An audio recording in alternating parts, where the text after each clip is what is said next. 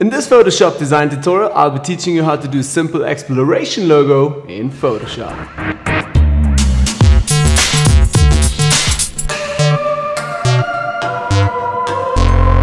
So hi guys, welcome back to a brand new Photoshop design tutorial. My name is Manny and you can find me on Facebook at Retouch Pro.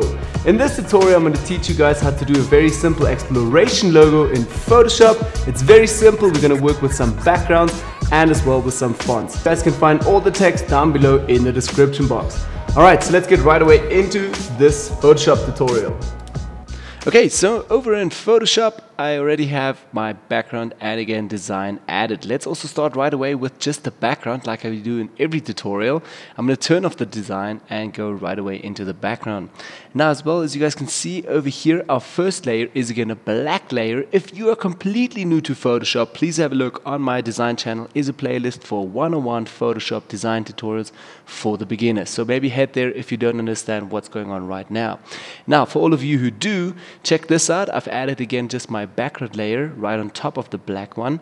Again, if you want, you can take the opacity down here and let that shimmer just through a little bit, the blackness from the behind. But today I want to try a different effect. So again, first of all, 100% opacity just with the background layer. On top of that, I've added a curves adjustment layer. Again, you can go to adjustments and over here is curves adjustment layer. So once you select it, that will be over here and you can edit it. Let me delete that quickly and head over to my original layer. I'm gonna make this a bit bigger and show you guys what I did. So first of all, I took the black parts up just to fade them a little bit and decrease that a little bit. And also took the highlights and pushed those down a bit. So it's just dimmer a bit for the background. So obviously the white stands out a bit more. Now, but the second thing is that I've added another adjustment layer, a hue and saturation, not to desaturate, but take the lightness down a bit.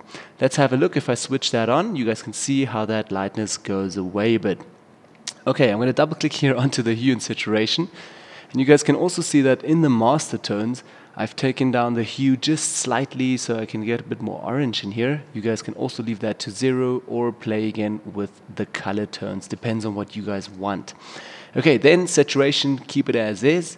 And with my lightness, I push that down to like a minus 22 because I wanted to just degrade the lightness a little bit. Obviously, make it a bit darker though. So again, minus 22, you guys can also play with this again. What I also sometimes do is once I'm finished with the design, I go back into this background layer and play again with all of these adjustment layers, curves, and etc. to make it even better. Okay, so that's basically my background again. Then the design, let's start with that. It's first of all, again, a shape here in the top, then also some text and again another text for the bottom. So maybe this is your company name and down below would be just a slogan or something simple to round it off. Okay, let's start right away with our first thing. What we're going to do is go to the text tool over here on the left hand side or press T on the keyboard and we're going to make a nice big selection. And first of all, I'm going to search now for a tree font. Yes, I'm going to build the shapes from trees and from a font. So let's go to our font selector here and over here it's called Trees TFB. You guys can also find it in the description down below with a link to this tree font. Okay, select that. And on the tree font, I've also searched for the right uh, letter, and that is J for me, but it should not be leaning. Okay, anyways, let's select it. First of all, I'm going to go to the character box. If you guys don't have the character box, again, go to Window, activate character box over here. Great, so I'm going to take out leaning and it's nice and straight. Great. I'm happy also with the size so far. Maybe I'm going to make it actually a bit bigger. 50, that's great.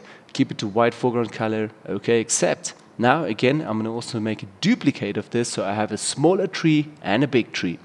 Again, I'm going to press Command J on my keyboard so I can duplicate this. If you're a Windows person, please press Control when I say Command. Okay, so Control J now for you. So Control J, and for the window, ach, Mac, Command J.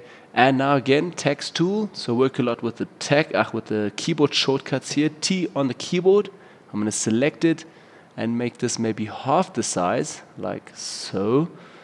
Mm, half would actually be 25 then, but yeah, okay, let's make it a bit bigger. 36, somewhere around there. Okay, accept it. And with my move tool, I'm going to basically place this somewhere over here. Okay, let's also rename this quickly. J would be then the small one. Okay, so I just know that's my small tree. Okay, great. So the small tree is over here. And to cheat a little bit, I'm going to actually turn on again my shape over here because I'm really rushing through this and try to be as precise as I can. Put that here to the top. And we're going to take these two layers here and place that right next to it. So right away, what I'm going to do is this is the small layer, the big layer. Again, let's duplicate this with Command J again. And I'm just moving the tree a little bit and trying to make here a really weird silhouette, uh, kind of a white form of trees from a forest, all right?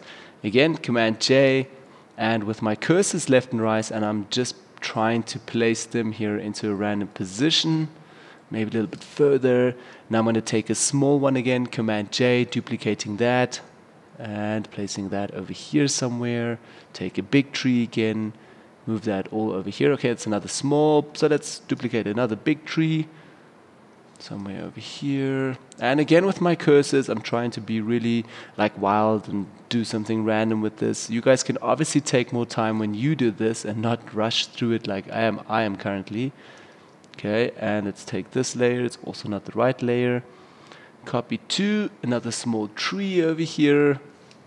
And I'm gonna take a big tree again, Command J. And you guys kind of get the point what you should do just really build a little shape over here. Now what I'm also trying to do is just build a shape that goes like up like a wave and then down again. So also with the trees go up and down and then down a little bit. So up and down a bit. Command J again. And let's make a bigger uh, position here or even further away. That could also work. And then again, another small tree, Command J for the end. Place that somewhere over here, maybe even a bit down. And yeah, so far I'm happy. I'm actually going to make another duplicate of this, Command J, and just try to make something completely weird. Put it somewhere up here. Maybe that would look cool if it's really big. Yeah, well, okay. Not, it's not really doing the effect for me. Maybe a small little position here, something like that. Okay, like I said, obviously take a bit more time when you do this. I'm really rushing through it. Okay, great. So I've got all of these uh, layers now set. Now what I'm going to do is to select all of the layers here. Remember, these are still text layers, so we need to rasterize them before we can put them in a bundle. Again, all text layers, I'm going to hit right click while selected the layers, go to rasterize the type, and then hit right click again and say merge layers. So now we've got everything in one layer here. Great. Then again, I'm going to take the pen tool and start right away out here in the front and put an anchor point and try to replicate the wave. So again, anchor point over here, another anchor point over here. Keep on holding on that onto that path and also to the mouse. Okay, something like that. And one over here. And just trying to make some round waves here. Again, I'm doing this super quick. And if you're new to this, please have a look again. On the channel is a playlist called 101 Photoshop Playlist. How to do and how to learn stuff about Photoshop and also how to work with the pen tool and learn how to work with the pen tool. Again, once I'm done, I'm going to complete the anchor point hit right click, say make a selection out of this, and also now feathering zero, okay, and we have a selection now. Now I'm going to hit delete on that layer, so we have a round curve already. But obviously you guys can see here these points and these little breakdowns here. So we need to also fix that. So what I'm going to do now with these uh, little points here, I'm basically going to go back to the marking tool, hit right click inside of the selection, and go select inverse over here. So now we have the opposite and we can actually paint in here.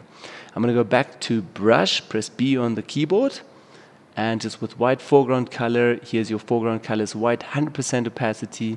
I'm literally just brushing in these little holes over here. And if you want to, can, you can also fix the trees a bit if you've messed up. Okay, now I'm going to press Command D to get out of the selection. Again, Windows users, when I say Command, you have to press Control. So Command D, get out of this. And I can see I missed a bit here. So then let's go back to history, brush tool, B for the brush again, and let's just fix this. Okay, as you guys can see, I'm obviously rushing through this. Again, Command D, get out of the selection. Now, again the pen tool, but I'm staying on this layer. Put an anchor point over here, and an anchor point over here, and I'm literally just going to make a big round curve. Keep on holding onto that path now, also taking this anchor point, hold Alt on the keyboard, move this all the way back. And over here, select the last anchor point. Keep on holding onto that mouse so you can create a really nice round path and stop there. Great, so now we have a really cool path. Again, hit right click on the path, say make a selection out of this, zero feathering, okay. M for the marking tool, and inside of that selection, hit right click and say fill it up. Fill it with a white foreground color here under contents, okay.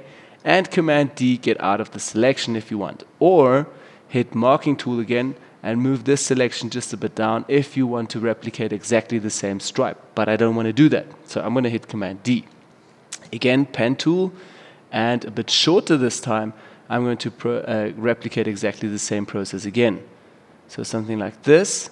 Okay, hold Alt on the keyboard, move this guy over, and select your anchor point again, the first one, and try to like make a little stripe here again. Okay, same process, right click, make a selection, zero feathering, marking tool, inside of that selection, hit fill, and also fill this with white foreground color. Command D to get out of the selection. Great.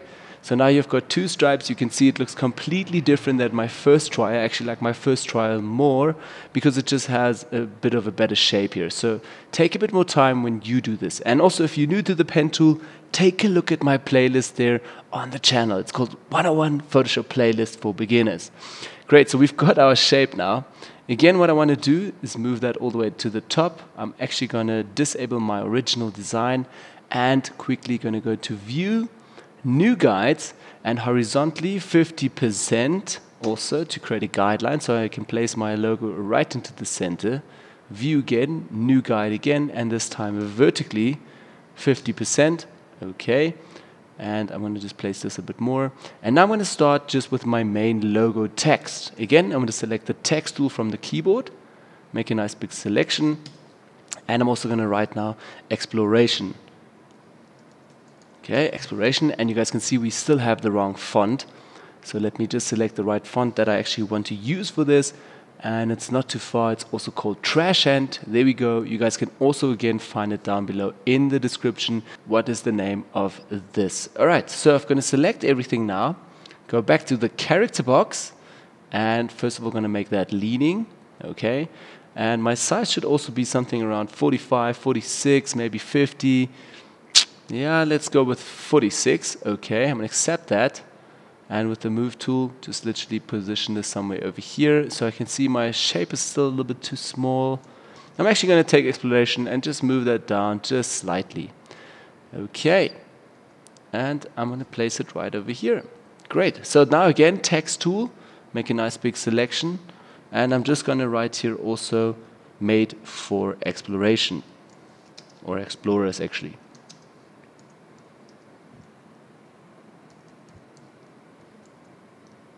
Okay, so now we've got that. I'm going to select all of it and go select the font that I've used almost every week, which is called Helvetica Neue.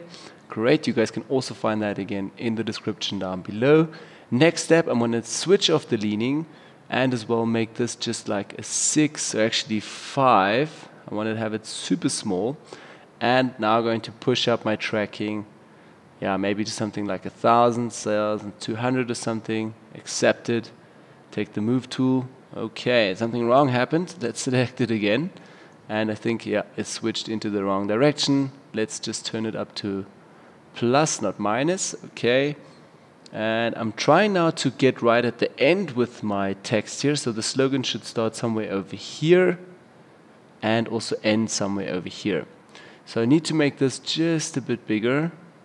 Okay, and I can obviously not see it, so let's select it again make this a bit smaller, accept it, and with the move tool, I'm literally just with my cursors left and right, trying to put that somewhere here into the center. Great, this guideline away, and let's take all three layers, move that just down a little bit, and you guys can see it looks slightly different than my first layer. I'm also going to press quickly Command J just to uh, put everything together in a group. Double click on here and call that design. Great, so that is also view, clear the guides. That is our uh, logo design from the second hand. I don't really like this shape so much. I would take some more time to create a better shape like I have in my first design. So as you guys can see, the first one looks a bit better. Let's try the second one towards the first one. Again, yeah, I like the first one more than the second one. Yeah, but as you guys can see, that's a quick way how to create this quick and easy logo. Yeah, so that's basically it for the tutorial, guys. Thanks again for watching. Don't forget to hit me up with a thumbs up if you enjoy this content. Subscribe, share this with all your buddies who are new in Photoshop. And yeah, thanks again for watching, guys. I'll catch you all in the next tutorial. Yeah, and if you want to see some more tutorials, just check out here on the left side, right side, or at the bottom are also some more links to some 101 Photoshop design course. But yeah, just check around, a few more tutorials for you.